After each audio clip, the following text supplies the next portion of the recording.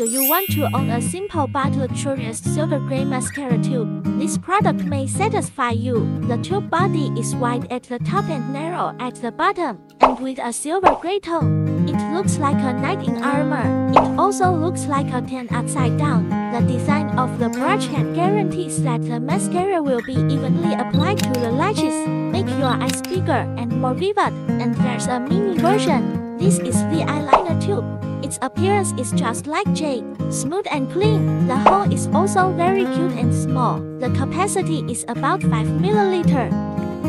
If you are interested, welcome to consult with us.